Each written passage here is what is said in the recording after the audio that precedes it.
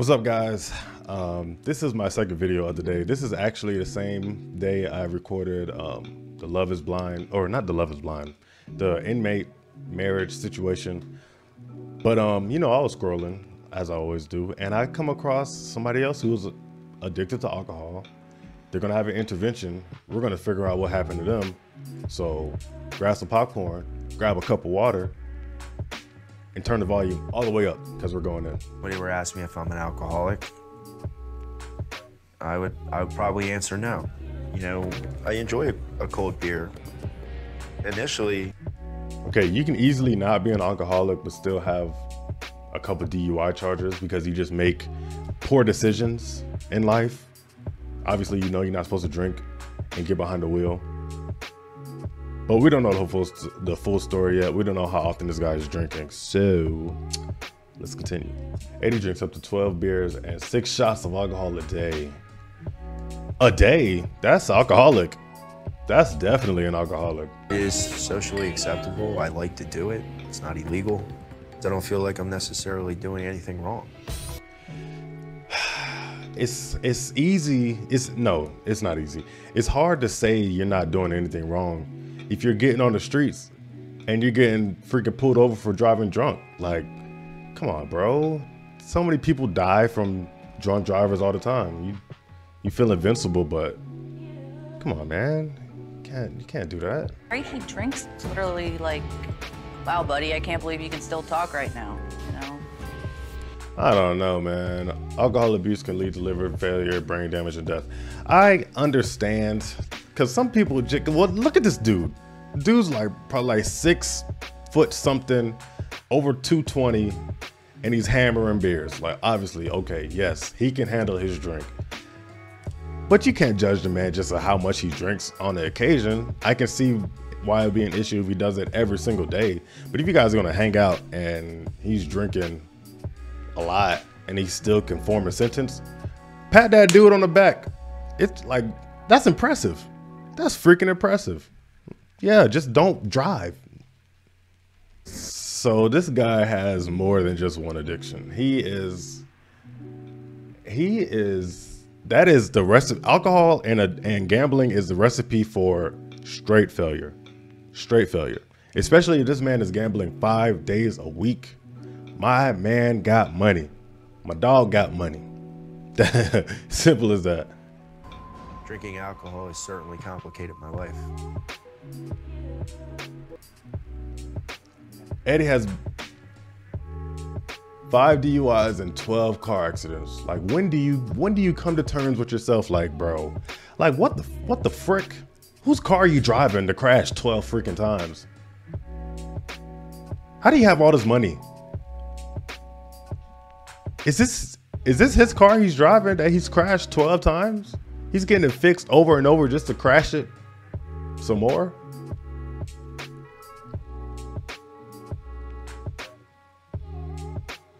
I was one of the best little league baseball players in the area. That's got to be a real disappointment. Disappointment to your parents, man. You got so much potential. I just want to know where it went wrong.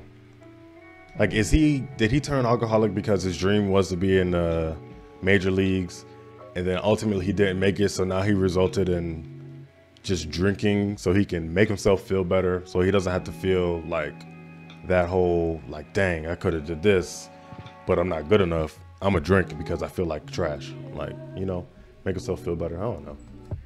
I always demanded excellence. There's nothing wrong with that. I always demanded 100% effort. And there's nothing wrong with that.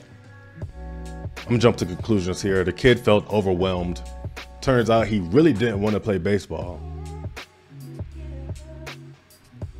he hit that ball and it cleared that fence and all the coaches turned and looked and they went son what are your grades like and we were like oh we were so excited it was awesome He was awarded a baseball scholarship to Duke University. Okay, another conclusion I'm gonna jump to. Maybe he goes to college and just freaking just loses himself, just starts drinking because everybody's partying. You're at Duke, you're having a good time, you're a freaking star, baseball player. And then you get in trouble the first time because you drink, you feel invincible, you drive, you get arrested, scholarships taken away. Mm, watch.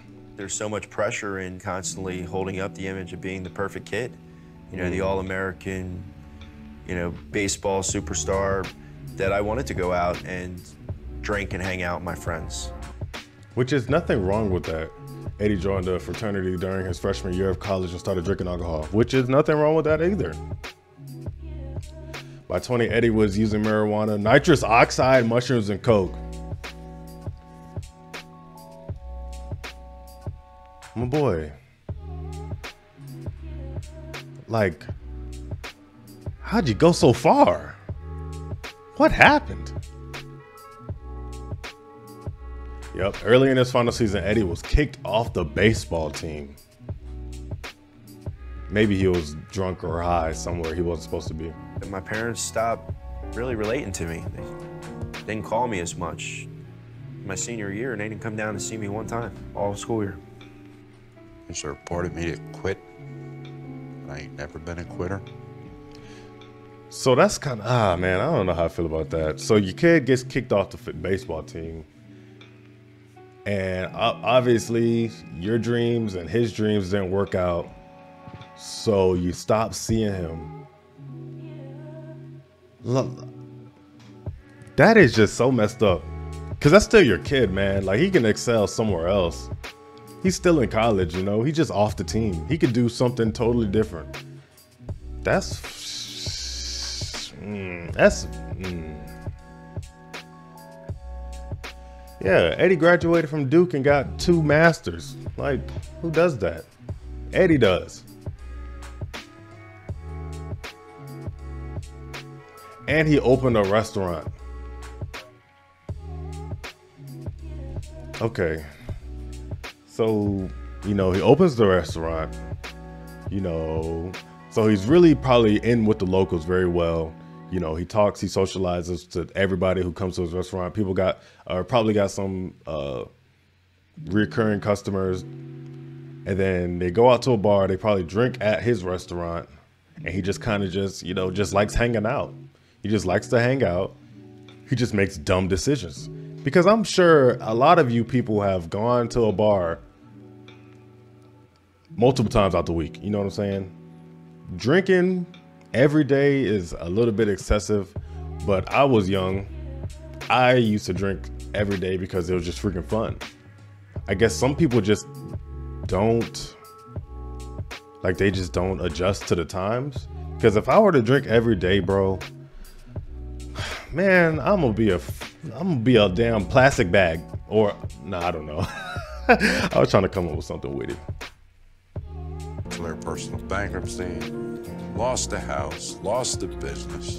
Then the marriage spiraled out of control from there, and then she had him arrested for harassment and Wow. breaking and entering and everything in a restraining order. Wow. That's freaking sad as hell.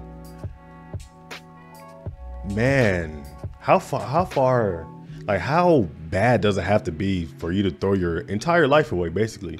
You lose your restaurant, you lose your wife, you lose your savings, your house, all for some alcohol?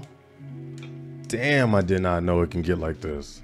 He can't find happiness in the future unless he puts the past to rest and he quits drinking. That is true. Don't know how I feel about the quit drinking part because obviously, if you're a raging alcoholic, you can't just cold turkey. I don't think you could cold turkey anything. You got to kind of like wean yourself off. But I don't necessarily agree with completely being sober forever. Maybe every now and then you can have a drink. Maybe every now and then you can kind of go overboard and just, you know, be extremely drunk just in a good environment where you don't find yourself having to drive or, you know, be in any compromising situations. But being completely sober, I, I, I don't, I don't know. I freaking commend anybody who's done it, but for me, dog, can't do it. Here we go, man. Here we go. Here we go. Here we go. Okay, before this intervention happens, this dude in my comments said, well, he brought some light to my eyes because he was like, you know, the intervention is more so for the family. And it kind of made me realize, like, yes, like, I get that. It's like the last chance for the family to actually, you know, put their feelings on the table and let them, let you know how your actions are affecting them. But at the end of the day, to me, it's it seems like it's just only words, you know, like I just can't get over the fact that this person is over 30 years old and he knows right from wrong. This is a grown ass adult. He knows right from wrong. He knows that he lost his house, his marriage, his he got DUIs and he's facing jail time and you know what I'm saying? The man is 30. So what more can your family do? You know?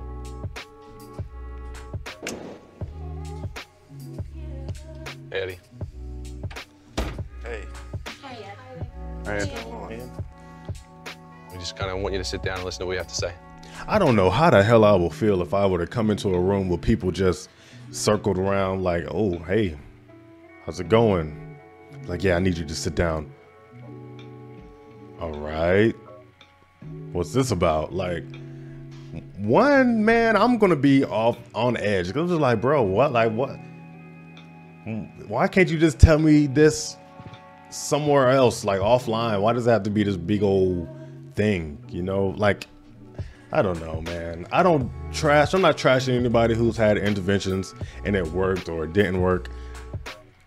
I'm just all about accountability, and I know for a fact this dude knows right from wrong. So Will you please accept the help that's being offered to you today? I'm gonna turn the subtitles on or something, cause this. I don't, I don't know. I can leave the state. We'll talk about that. I have a court date I can't miss. We fixed that. We uh, made arrangements with uh, the district attorney, and what's going on for your court date could be null and void if you said yes today. Okay, so uh, I see the power of interventions now. I see the power of interventions. Just say yes. Holy smokes, you don't have to go to court. You don't have to deal with anything else if you just get help. So I see the power of interventions because not only can you voice your opinion and what you feel and your emotions, you can have the whole freaking state on your side. I see the power of interventions. I see it now. this time it's not the love of the game. It's because I love you. I'm sorry. Oh my god, I'm sorry. It's stuff like this just cringes me so bad. I don't I don't want to sound like a straight ass bag, but this dude, man. Interventions besides like having the state on your side, I get that, but you just basically just brought this man into a room just to guilt this man into stop drinking. But he's gonna want to have to change for himself. You know? Like he just you just kind of guilting him into fixing himself. Please. I'm asking you to accept this help today. Start anew. Yeah, let's go. And then if the dude was to really say no, that would just be so dumb on his part. Of course he's gonna say yes. He doesn't have to go to court. We don't know this man's real intentions. You should have just freaking saved that for the end. Should have saved that for the end of the intervention. You know, of course he's gonna say yes. I don't have to go to court no more. Obviously, I'm gonna do what the hell y'all want me to do. It's almost like you made the decision for him. Like, yeah, if you accept help, you don't have to go to court. You're not to face any jail time. Well, obviously, I don't want to go to jail. I don't want to stand in front of a court and get judged. Yes, I'm to take this help. But in the back of my mind, it's like, boy, I'm about to leave this mother effer and I'm about to go get me a beer. Ain't no telling what this man thinking. Y'all just, hmm.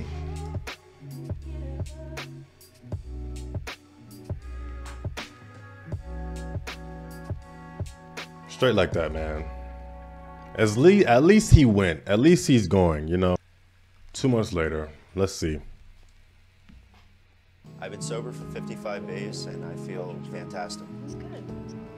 Physically, I feel uh, very healthy. Emotionally, I feel like I have a, uh, a much more clear way of looking at things. He just looks healthy and his eyes are open and he looks like a completely different person. That's good.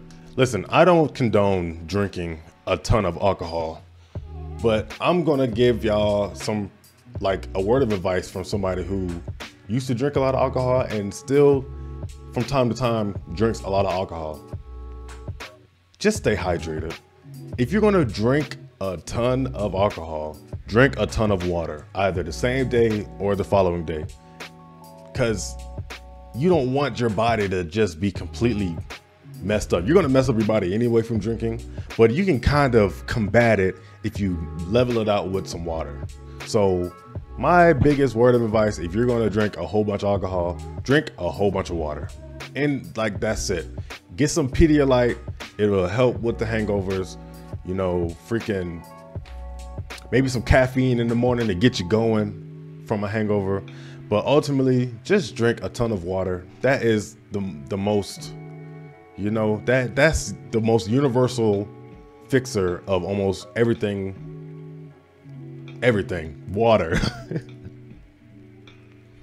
Five weeks after the intervention, Eddie's parents completed the Betty Ford Center Family Program. Eddie got a job coaching baseball and speaks in and speaking at local local treatment centers. Holy smokes! He's been sober since January 2011. Wow, this is very old. That is a long time to be sober. Let's figure out what happened. I know I have not been doing great on this whole searching for people, but we're gonna figure it out today. Try to at least. So this comment says on Eddie's Facebook, he just celebrated 4,200 days sober. That is so long to be sober, but man, if you can do it, if you if you got it in you, freaking do it. Like that that is an incredible feat. Yeah, that's that's great. Um it's good to see that he's still doing good. I couldn't find his Facebook. I didn't actually want to try and look for his Facebook, but somebody I believe the comments, you know what I'm saying? But we got his alcohol addiction under control, but what about the gambling? Does he still gamble? You know, this is only a YouTube video. I didn't watch the whole episode. So, you know, hopefully he's, I mean, they seem like they're doing fine. He seems like he's doing fine. So, yeah, man, if you know an alcoholic, say something, call somebody, you know, have an intervention because it might work. You might have the state on your side. And, um, yeah, let me know if I've been a complete ignorant POS this video. I feel like I haven't, but maybe I said some things that kind of offended people. So, you know, let me know. Um, that's going to be the end of the video, man. Love yourself, love your family, love your parents, love your kids. Drink some water. Don't drink too much alcohol. We're out.